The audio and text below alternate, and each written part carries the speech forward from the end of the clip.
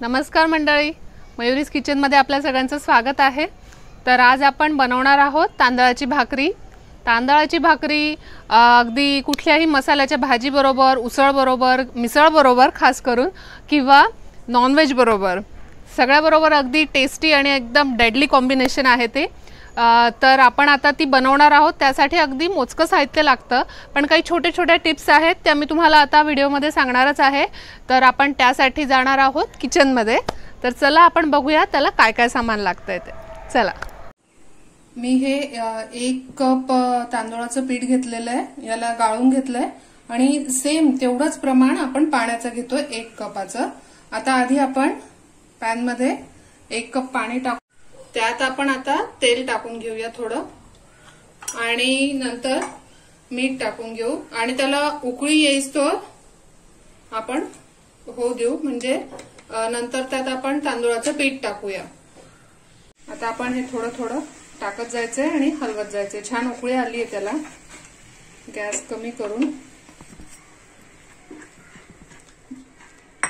उकळल्यानंतर त्याला हे आपण पीठ टाकून घेतलंय. आता आपण त्याला एक तीन चार मिनिटं वाफेत होऊ देऊया. थोडस याला एक तीन चार मिनिटं आपण झाल्यानंतर त्याला चेक करून घेऊ आणि मग नंतर मळूया. आता मी गॅस बंद केलाय आणि आपण चेक करूया. आपली उकड कशी झाली? मस्त. हे बघा. आता आपण त्याला छान तेलाचा हात लावून एक पाच दहा मिनिटं मळून घेऊ. जितकं आपण छान मळूया तितकी आपली भाकरी मऊ आणि लुसलुशीत होणार आहे. म्हणून मळण्यावर जरा लक्ष द्यायचंय. आधी आपण हे छान चमच्याने असं करून घेऊया स्पूनने कारण गरम आहे ते. एकदम गरम याच्यात हात न टाकता. त्याला याच्या यावर या स्पूनने मस्त मळून घेऊ. आणि मग नंतर आपण तेलाचा हात लावून त्याला छान मळून घेऊ.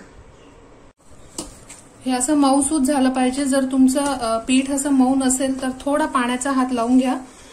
अदरवाईज ती जी आपली भाकरी आहे ती त्याला ती फाटेल आणि ती कडक होईल थोडी. म्हणून बघा असा छान असा मऊसूत आपण गोळा करून घेतला त्याचा. आता थोडं पीठ टाकूया त्याच्याखाली आणि गोल अशी चपातीसारखी आपण लाटून घेऊया. तवा छान तापला आता आपण. ही भाकरी टाकून घेऊ. आणि त्याला हलकं थोडं पाणी लावायचं पाणी लावल्याने असं आहे की ती कडक नाही होणार आहे त्याचा पापुद्रा आणि छान फुगेल ती टमटम.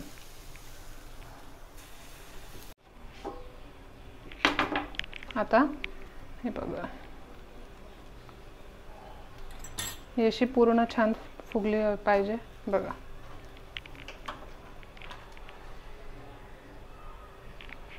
हा तयार आहे आपली तांदळाची भाकरी.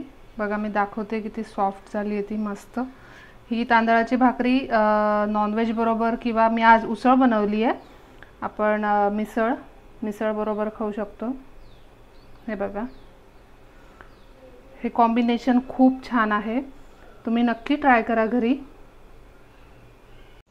तर मंडळी कशी वाटली? तांदळाची भाकरी तुम्ही घरी नक्की बनवून बघा. आणि मला कळवा की कशी वाटली घरात सगळ्यांना ते.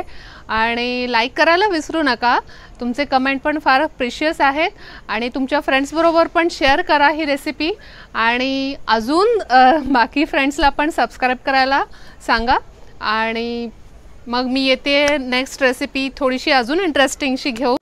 त्यासाठी तिकडे एक बेल आयकन असेल त्यावर क्लिक करा.